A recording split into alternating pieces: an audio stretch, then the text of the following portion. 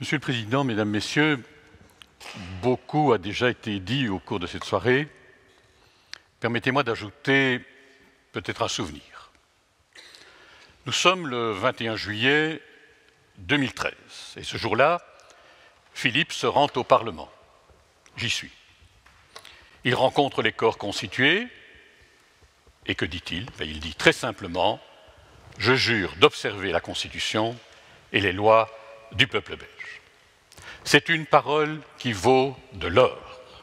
Ce soir, moi je ne parle pas en effet de la monarchie, je parle de la monarchie constitutionnelle. Et j'ajoute ceci, c'est qu'en bonne logique, il faut renverser l'ordre des mots, la Constitution vient devant, le roi vient après. En Belgique, je vis dans une société démocratique. Je vis dans une société qui s'appuie sur un catalogue de droits et de libertés. Je vis dans une société qui applique la règle de la séparation des pouvoirs. Je vis dans un pays qui pratique le fédéralisme avec ses communautés, ses régions.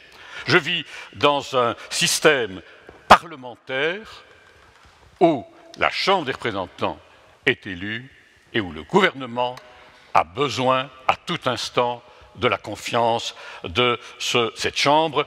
Le gouvernement vient encore de la demander cet après-midi. D'une certaine manière, je vis en République. Et je m'en félicite, sans réserve. Mais dans cet assemblage institutionnel, il y a évidemment une pièce, un élément. Un élément, c'est le chef de l'État. Dans tout État, d'ailleurs, il y a un chef d'État qui, le représente euh, à l'intérieur, mais aussi, bien sûr, à euh, l'extérieur. Et ce chef d'État Comment est-il désigné en Belgique? Il présente une particularité, c'est qu'il n'est pas euh, élu, il est choisi, tout le monde l'a dit, par le procédé de l'hérédité. Autrement dit, je vis dans une république couronnée, l'expression a été utilisée dès 1830. C'est Lafayette qui disait La monarchie constitutionnelle est la plus belle des républiques. Ça veut dire quoi? Ça veut dire qu'il y a un régime avec ses institutions, ses citoyens, ses valeurs, ses principes. Et il y a, dans ce régime républicain, un roi.